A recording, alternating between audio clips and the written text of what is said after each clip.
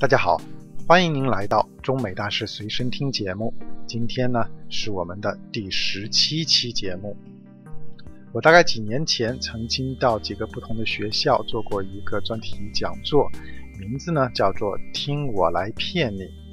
讲座内容呢是给大家去介绍一些平常我们听上去是合理的常识，但事实上与现实生活是完全相反的。那么我可能会把这个内容呢汇总成一个新的系列，叫“伪科学”，也就是我姓名中的这个“伪”。再加上科学是伪科学，今后呢会以文字的形式将这个系列逐步在一路直北公众号发布出来。其实大家可以关注我们的微信公众号“一路直北”。那为什么今天我们讲到这个话题呢？是因为我们今天要讲的内容呢，正好就是一个违背大家常识的观点，是什么呢？就是我们媒体。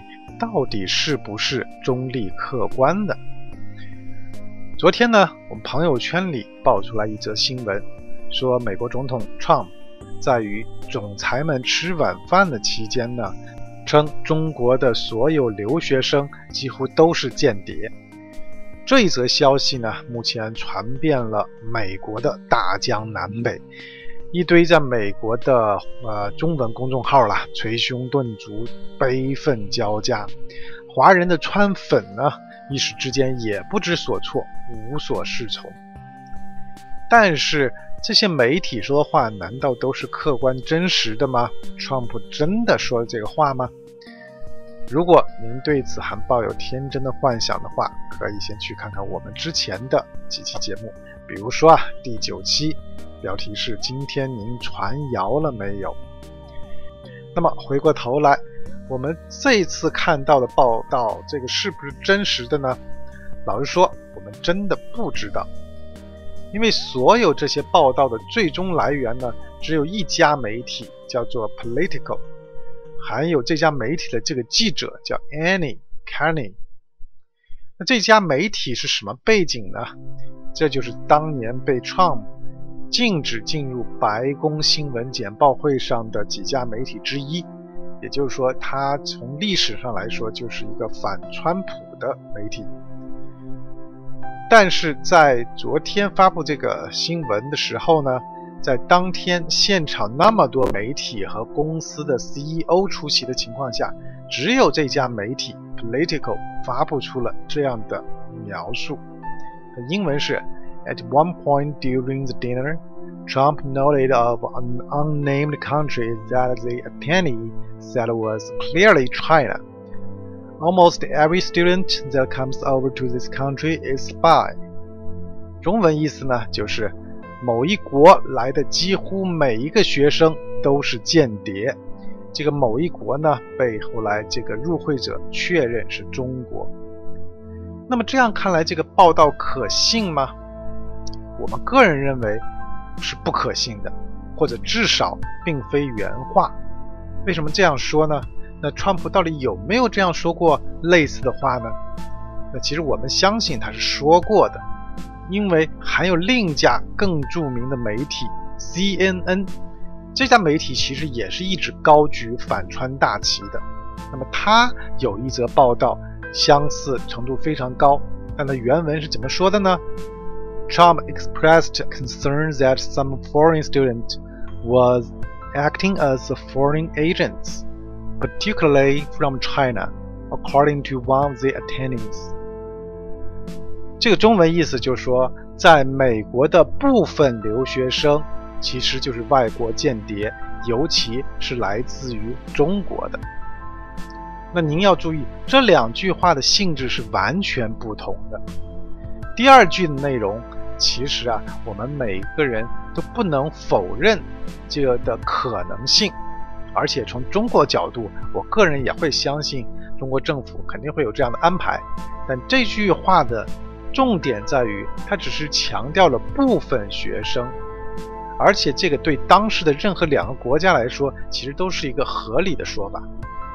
但第一句的问题在哪儿呢？第一句问题直接定性为几乎全部。将所有在美国的中国留学生全部包括在内。那么这样两个媒体 CNN 和 Political 的两个报道呢，您更信哪一个呢？我们肯定是期待这个发源地这个 Political 呢有更直接的证据来证明他们说的这个是 Trump 的原话。但在他们拿出这个证据之前呢，我们认为可能我会更相信 CNN 的表示。那么现在我们回到我们刚才的这个。问题就媒体到底是不是客观的、公平的、中立的、公正的呢？那么我们很遗憾的告诉大家，这个答案是必然的 no。那接下来呢，我就给大家分析一下。那首先从事实和结果上，其实我们已经非常清楚了，我们周围的媒体并没有在客观、公平、公正的报道同一个事儿。刚才我说的这个关于 Trump 这个原话，就是一个非常典型的例子。不管事实上 Trump 是怎么说的，其中的一个媒体并没有如实报道，这个是一个事实，对吧？因为他们两个说的话的性质呢是完全不同。而且呢，就 Trump 这么有争议的一个总统来说，美国媒体的两极分化呢是非常的严重，有明显的挺川派和反川派。最有趣的是什么呢？从二零一六年开始，直到现在二零一八年，反川的主力 CNN 多次在直播中，当他发现采访者在发表挺川言论的时候，就硬生生的掐断了直播信号。这种事情发生次数多的呀，网上都能找到集锦了，大家搜一下就知道了。CNN。那么有这么明显政治立场，而且不顾脸面就能表现出来，媒体这算得上中立和客观吗？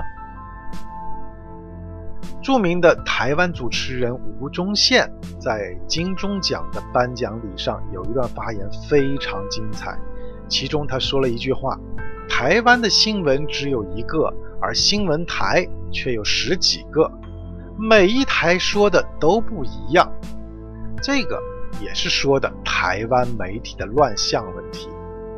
所以从现实上来说，媒体并不存在中立一说，媒体总是有站队的，而且这种站队有时会很明显，有时呢就会用很微妙的方式表达出来。微妙到什么程度呢？其实就连一个形容词都能立刻表现出。记者的立场也能立刻引导读者对这个事物、对这个人的第一印象。这个就讲到一个相对比较专业的事情，就是新闻中到底要不要加形容词？这个呢，一直是一个颇具争议的话题，长期以来众说纷纭，莫衷一是。据说啊，清华大学新闻传播学院给学生呀有一个硬性的规定。稿件中如果有一个形容词，就扣一分。李希光曾多次介绍说，新华社就曾经有一个事啊，拒绝一切带形容词的稿件。当然，我现在在这儿呢，并不是说支持我加和不加形容词的问题，我只是想告诉各位听友。当你在新闻中看到形容词或者副词的时候呢，你就已经被记者的主观感受牵着鼻子走了。比如说这一篇报道，在一个多小时的演讲中，听众鼓掌二十次，有五次掌声达三分钟之久。演讲一结束，他就被听众包围。要求签名合影的听众排起了约一百多米的长队。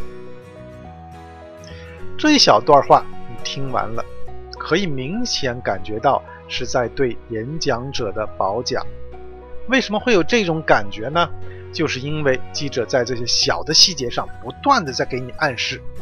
比如说，五次掌声达三分钟之久，这个形容词“久”。以及这个表示多的动词达，如果我换一种说法，有五次掌声，掌声持续三分钟，这样一下你就觉得没有什么滋味了，对不对？OK，同样，如果我们在这里面看到的演讲一结束，换成演讲结束后，或者把他就被听众包围换成听众环绕在他身边，或者把排起一百米长队换成排起约一百米的队。那这样就完全不同的效果产生出来。形容词和副词容易把人带进沟里，那其他词会不会也有类似的作用呢？答案是确定的。比如说刚才我们提到的这个动词的选择，因为在中文里呀，动词也是带有一些背景和暗示的。比如说 NBA 的火箭队刚输了球，一篇采访报道说。哈登点出火箭输球原因，那这里面写的这个点出原因这一句话一出，我们就会认为他说的这个原因啊，就是真实的输球原因了。再比如说，薛明道出女排输球四大原因，道出原因也是有相似的效果。那如果我们换一种说法，是不是就不会有这种效果呢？比如说，我们可以说是哈登认为输球的原因是，那这就很明确的说明了，这是他个人观点，并不一定代表事实就是如此。所以啊，综上所述，其实我们一直在被这些文字所操纵着。好了。上面我说的呢，是新闻和媒体本身并不是客观的，这个是一个事实，我给它定性了。那么，也许会有听众问我说：“我现在正在做这个中美大事随身听，难道也是主观的吗？那有偏见吗？”那我的回答是：那是当然的了。我从来不回避媒体是主观的这个事实。而且啊，我前几年在办报纸的时候，曾经啊，在我的报纸的头版头条下方注明：“本版头条文章代表本报观点。”那大家都是成年人，何必撒谎呢？对不对？OK，所以我们已经知道了，媒体并不客观。那么原因何在呢？为什么媒体不能客观和公正呢？那如何能做到？让媒体客观和公正呢？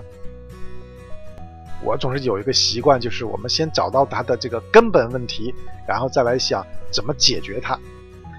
那么我认为啊，媒体不能保持中立的原因有主观上的，有客观上的。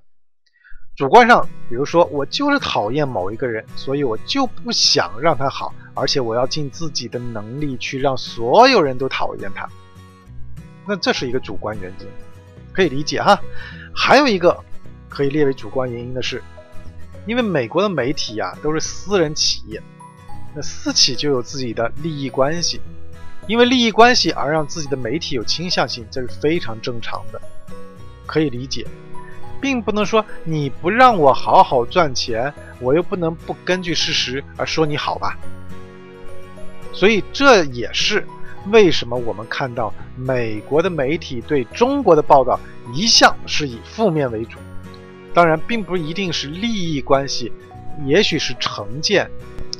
其实我们周围的大部分美国人，对于他身边的华人还是比较友好的，只是因为美国的媒体报道呢一直在给他们洗脑。那曾经有一次我去墨西哥出差，开车回来过边境的时候呢。边境的签证官得知我是做媒体的，就问我：“哎，中国是不是禁止宗教啊？”就这类似的这很荒唐的问题。你说，连一个美国的公务员问的都是这样与事实完全违背的问题，可想而知，美国媒体一直在给美国人灌输什么样的思想？OK，我们现在讲的是主观的原因。那还有一个客观原因，这个可能真的是绕不过去。那是什么呢？就是一件事，当通过你转述之后，你转述的这个内容呢，就已经不是完整的事实了。那这句话我再说一遍哈，一件事儿，当通过你转述之后，你转述的内容呢就已经不能反映完整的事实真相了。这个其实应该也很容易理解，因为一件事的全貌，你首先只能看到一部分，而你转述的文字也好，图片也好，又只是你能看到的那一部分的一小部分。而最终，观众或者读者、听众能最终完全理解的，又是这一小部分中的一小部分。所以，最终人们只能像盲人摸象一样，摸到真实事件的一个小小的部分。也就是说，我们了解的离真相还差得很远呢。拿一场足球比赛来说，这场比赛非常精彩。对攻场面呀，精彩射门呀，很多。但记者描述起来呢，不可能写下每个精彩瞬间的所有画面。所以呢，不管怎么写，最终都是要突出最终的比分和技术统计。但是呢，有很多目前的技术统计无法告诉你的东西，只能在比赛中看到。所以那些球探必须要到现场。去看球来考察球员，而不能只是看看录像，甚至只是看看比赛统计就知道哪个球员好，哪个球员不好了。比如说哈，巴塞罗那的梅西一个人吭哧吭哧把球带了半天，把对方一堆后卫都吸引到自己身边，然后把球传给他队友阿尔巴，阿尔巴左路传中，中路的苏亚雷斯单刀面对门将，球进了。那最终。梅西在数据统计表里面呢，什么都没有留下，但所有看过这场球的人都会清楚，梅西就是最牛的那一个，那才是事情的真相。所以说，媒体的客观是相对的，主观是绝对的。我们再也不需要去刻意去追求一个百分之百客观的报道，因为那是不存在的。那当然，我们也不能忽略所有从事新闻行业以及新闻教育领域的人们对客观报道的追求。因为作为一个普通的老百姓，我们永远希望看到更多事情的真相，而尽量减少对一个事件或个人的有意或无意的歪曲报道。好的。今天节目就到这里，我是维京，欢迎您关注我们的 YouTube 频道 Connect USA and China，以及我们的微信公众号一路直北。我们下期见，拜拜。